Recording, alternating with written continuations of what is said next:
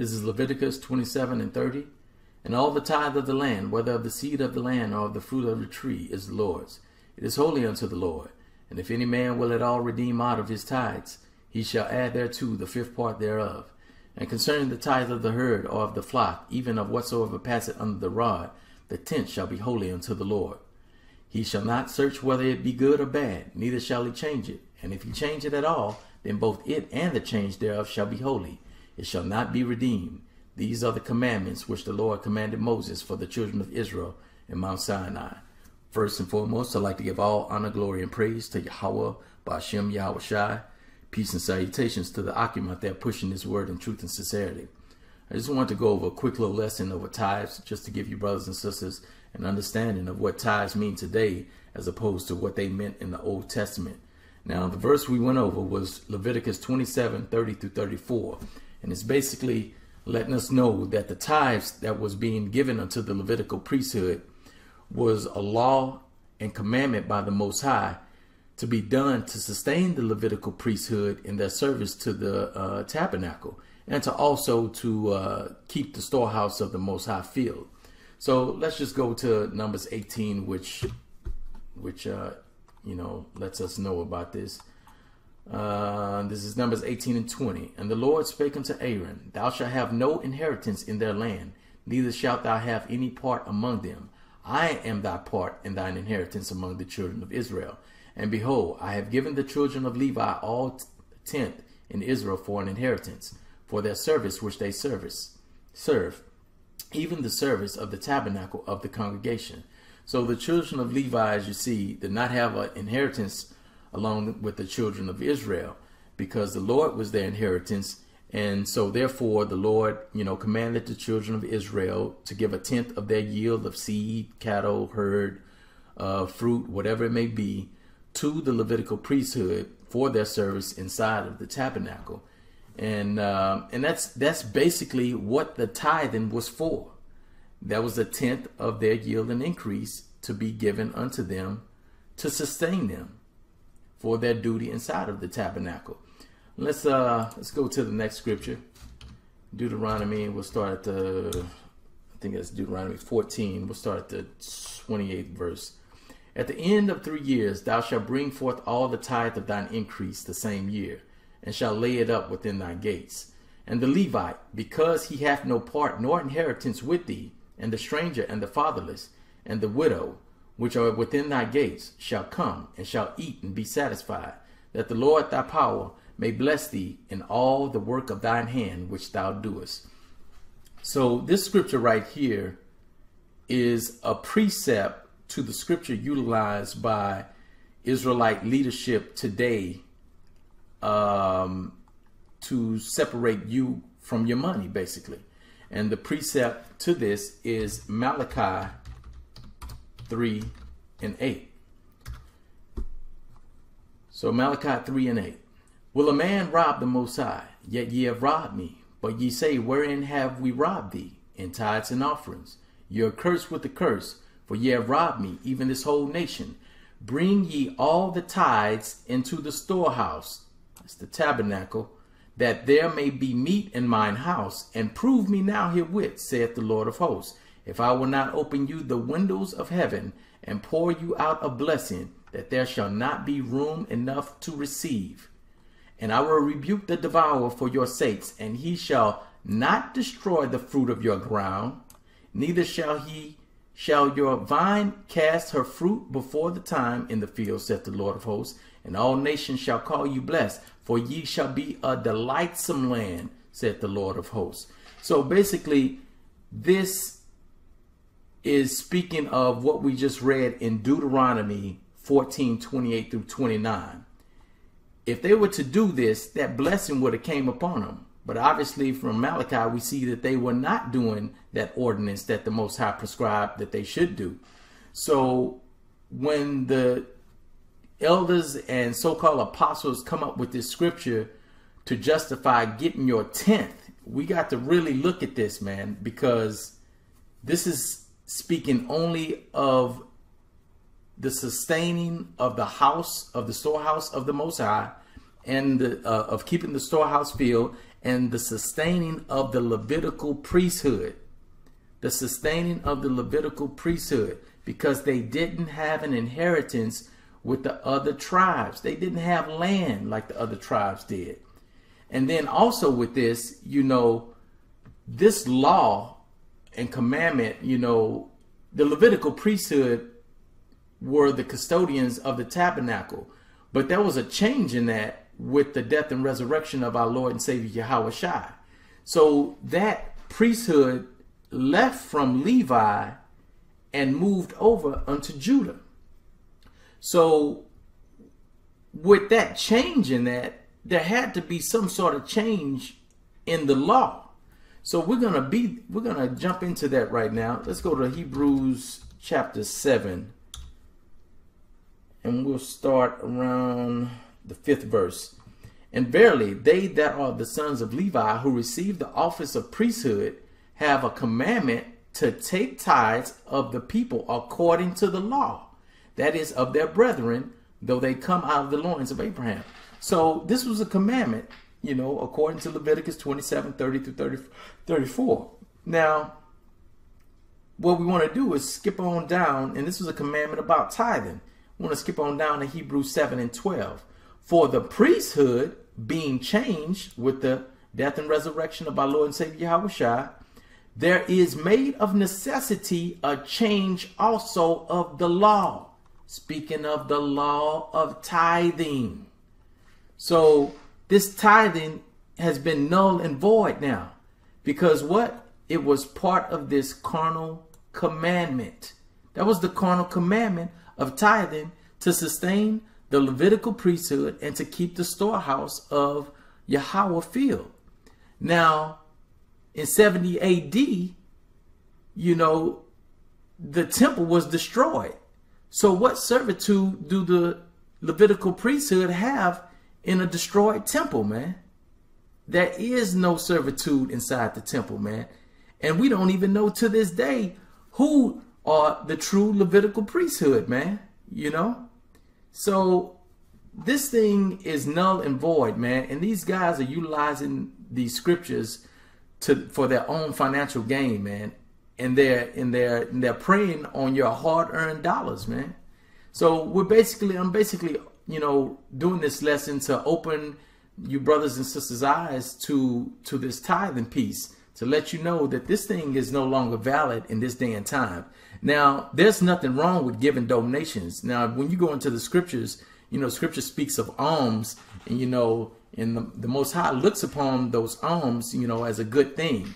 So you can give donations if your heart is so inclined to give donations to certain uh, individuals who are relaying words of truth to you.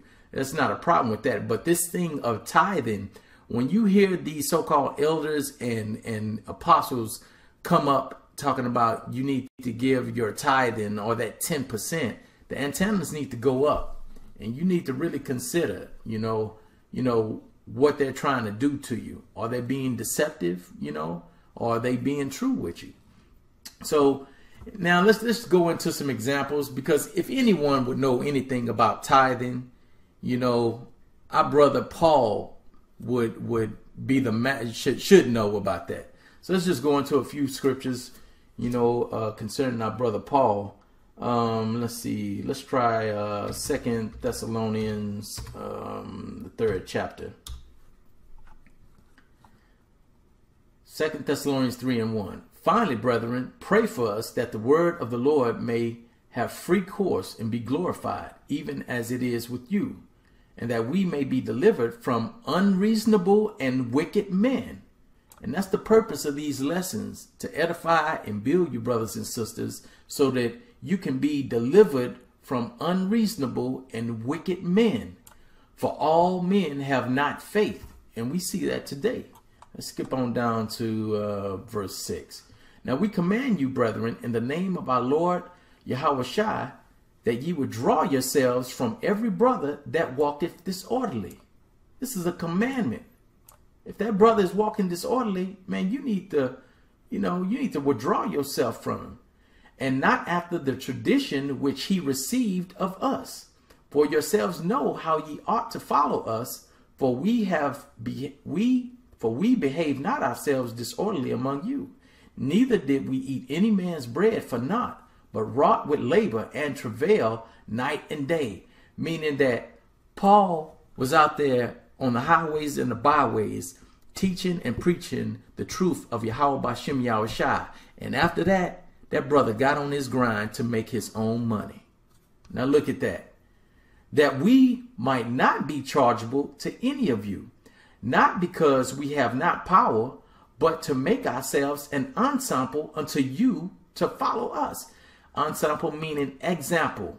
So Paul's basically showing us the example that the elders and so-called apostles should follow. This is the so-called example that these so-called this is the example that these so-called apostles should follow. For even when we were with you, this we commanded you that if any would not work, neither should he eat. So man, if you ain't on your job, on your grind, man, hey, you shouldn't eat. For we hear that there are some which walk among you disorderly, working not at all, but are busybodies.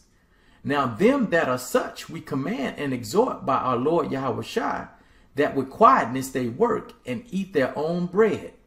But ye, brethren, be not weary in well doing, and if any man obey not our word by this epistle, note that man and have no company with him, that he may be ashamed.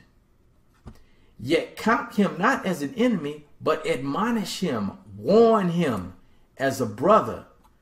This is the perfect example of how an apostle, an elder, should be operating, man. Paul is giving us a blueprint. Now, we look at this blueprint and then we have to look at those guys who are calling themselves elders and apostle in this day and time. And we need to see if they're following that blueprint, man. And if they're not following that blueprint, the antennas need to be going up. Let's get another scripture here. Let's go to First Peter's. Um, uh, let's see. Now let's now let's go to uh, let's go to Second Corinthians. Let's go to Second Corinthians. Let's try two. Second Corinthians, second chapter, 17 verse. Second Corinthians 2 and 17.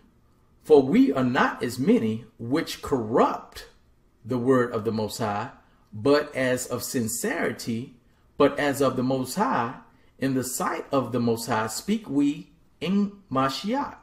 Now, when we read this scripture here, what we want to do is focus in on this word corrupt. Corrupt. So we go into that word corrupt is G 2585.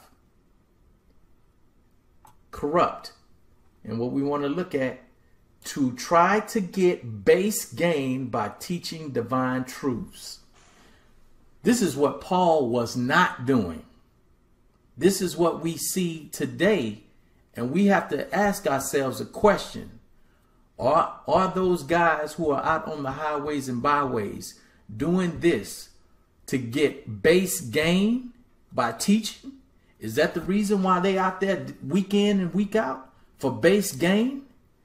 So now let's go back to that scripture and we're going to put this base gain back into the scripture. We're going to use this inside the scripture. For we are not as many which by base gain corrupt the word of the Most High, but as of sincerity, but as of the Most High, in the sight of the Most High, speak we in Mashiach. So Paul is letting you know straight up, man, I'm not doing this for money. I'm doing this for the edification of the body of Yahweh by Shem Yahushua. And that's what all brothers should be doing. This for the edification of the body of Yahweh by Hashem Yahushua, not for base gain or filthy lucre. Let's, let's move on. First Peter's uh, chapter 5. This will be our final scripture. The elders which are among you I exhort, who am also an elder and a witness of the sufferings of Mashiach, and also a partaker of the glory that shall be revealed. Feed the flock of the Most High. This is what the elders should be doing, feeding the flock which is among you, taking the oversight thereof, not by constraint, but willingly, not for filthy lucre. Man, let's look that word up, man. Filthy lucre, G147. Eagerness for base game. Eagerness to get out on the highways and byways for base game. Come on, man. Come on. Man, this is clear and cut. This is clear and cut, man. You know, this is this these scriptures speak volumes, man. You know, I, I just want to do this lesson, you know, you know, to edify you brothers and sisters, you know, on this tithe piece. Now, you know, like I said before, you know, it's no problem with giving alms. You can give alms and donations if your heart is so inclined to give. But when individuals come up to you talking about these tithes, giving a tenth of your pe of your your hard-earned cash, man, those antennas need to go up. And, you know, I hope this was edifying. And as always, I like to give all honor, glory, and praise to Yahweh, Ba'ashem Yahushai. Peace and salutations to the Akimat that pushing his word in truth and sincerity. And as all, and, until the next time, Shalom.